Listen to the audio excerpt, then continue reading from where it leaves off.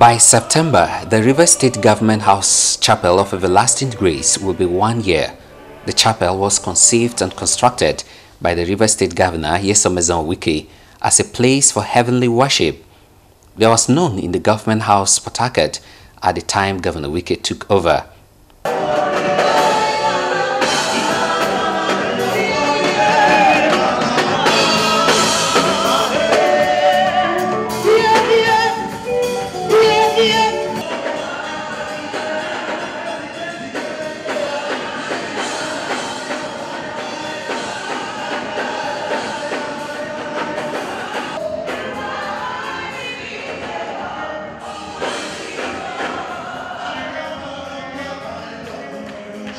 On Sunday, August 12, 2018, top government officials and prominent indigents of Rivers State gathered at the Government House Chapel of Everlasting Grace for the maiden musical concert of praise and glory to God.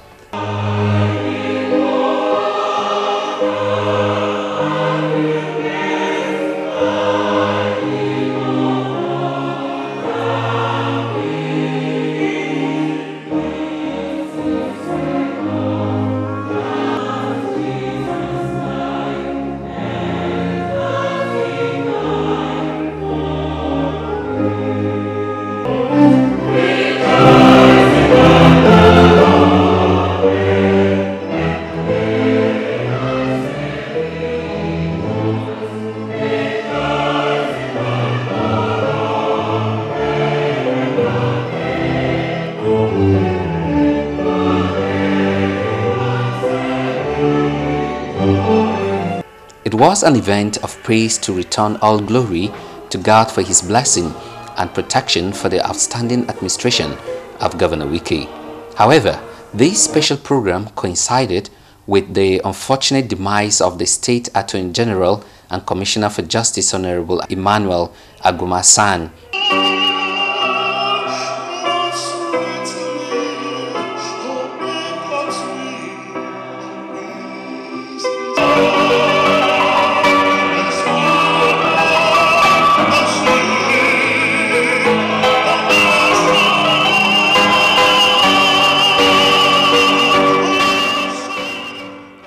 Therefore, the program started with a minute silence for the peaceful repose of the soul of Honorable Emmanuel Aguma, wife of the Rivers State Governor, Justice Eberechi Suzette Nyesom Wike, took the Bible reading from Isaiah chapter 60 verse 1 to 12 and Philippians 4 verse 4 to 7. Arise, shine, for the light is come, and the glory of the Lord is risen upon thee. For behold, the darkness shall cover the earth, and gross darkness the people. But the Lord shall arise upon thee, and his glory shall be seen upon thee.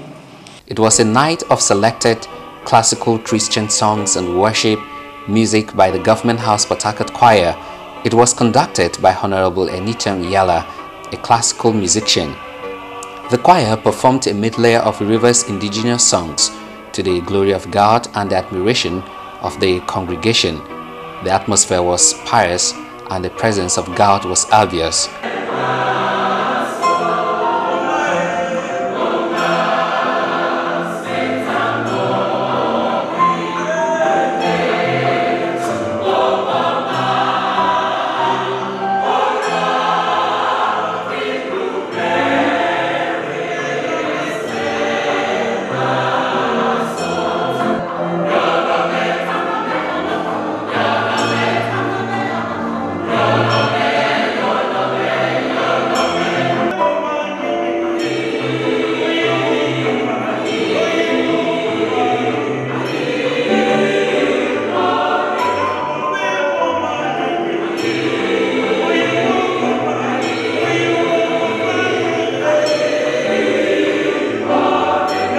The Rivers State Prayer Song was also performed by the Government House Port Choir.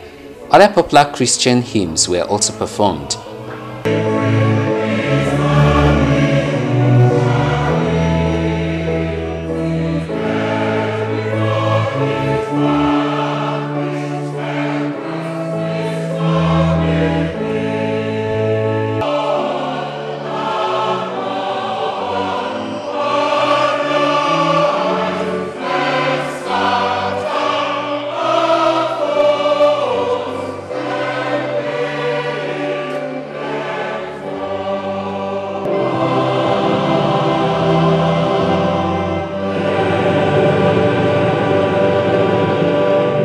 Compass for the musical concert, engineer Francis Nemia Boka and barrister Winifred Wanadi introduced the event, emphasizing the need to lift Rivers State to God through quality praise and worship.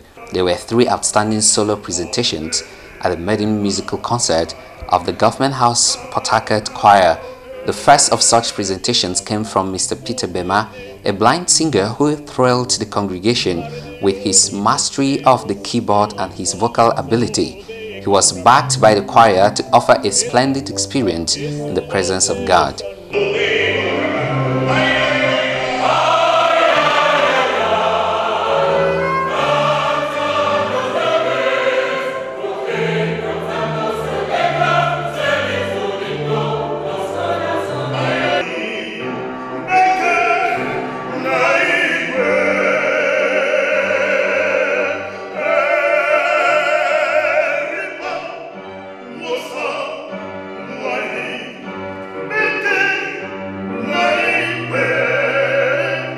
Saturday despite being physically challenged, exhibited God's gift to humanity. She lifted the congregation with her song, rolling back and forth on her wheelchair. She sang with the joy of the Lord and was completed by the congregation.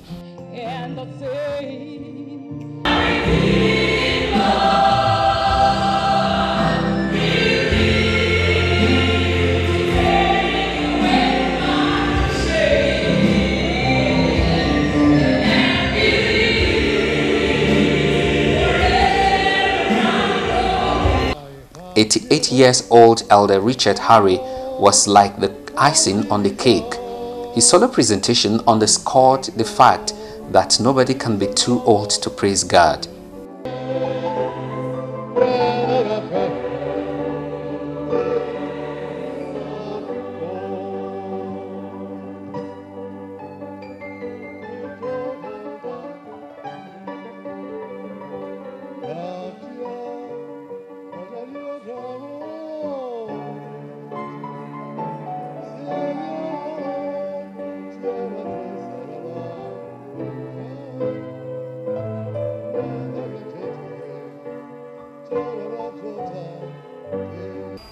The music conductor Honorable Enicheng Iyala also brought down the presence of God as he led one of the ministrations. Speaking at the event, Rivers State Governor Nyesom Wike thanked the Government House Harcourt Choir for the first-class ministration. Let me first of all thank the choir for this beautiful musical concert this evening. He said on the premise of the request of his wife, the music concerts by the Government House Harcourt Choir will be regular.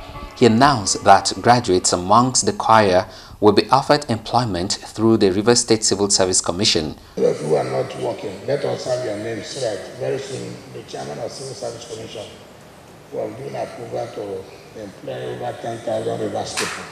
So, so, so, he said the employment will enable the choristers focus on serving God through music ministration. just telling me that look, she needs more of this from time to she was just telling me. In appreciation of the contributions of the Rivers State Governor to the establishment of the Government House Port Choir, a plaque of recognition was presented to him. The presentation to the Rivers State Governor was made by an octogenarian, Mrs. Beatrice Opua, she lauded Governor Wike for his commitment to God. For you to have built this here and the way it is, I speak with the voice of an ancient. Because you have done all this and you have shown the love of God, certainly He is before you, He is behind you, He is by you, and you fear no foe because he is there with you. Another award of appreciation was handed over to the wife of the Rivers State Governor by the chaplain of the Government House Chapel of Everlasting Grace, Venerable Sunday Opara. Where will be encouraging us. So we present this as a token of love. We believe this will encourage you to do more. In the name of Jesus Christ our Lord. Anita Yala, music conductor of the Government House Port Choir, assured the group he will continue to grow stronger because they are committed to the service of God. People to know that money is not all. It's about really praising God. And I tell you, it's been working out for us. As the congregation left after the benediction, it was obvious that everyone is looking forward to the next edition. For an administration that is anchored on God, it is always necessary to connect with the divine source as it heads to 2023.